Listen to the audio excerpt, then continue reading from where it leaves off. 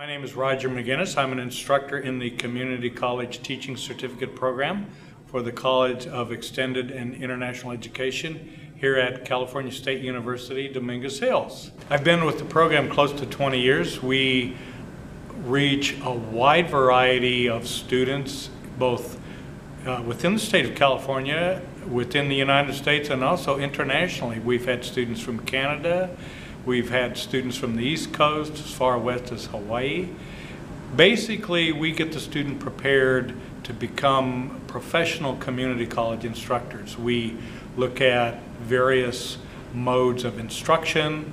We look at the students, the type of students that they will be encountering, the needs of the students, how to manage the classroom setting, how to prepare the students to move on to future academic endeavors. And we found that students become aware of issues in the classroom and outside the classroom that aren't readily apparent from the outside of the school itself.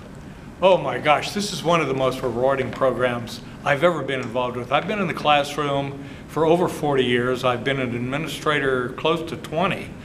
And I would, this is one of the most fulfilling programs to see individuals get ready to enter the educational setting and give back to the community as instructors to the students that are coming up and prepare them to enter the workforce or to transfer to a four-year university. I love this program. It's really satisfying to see individuals blossom and develop as professional instructors.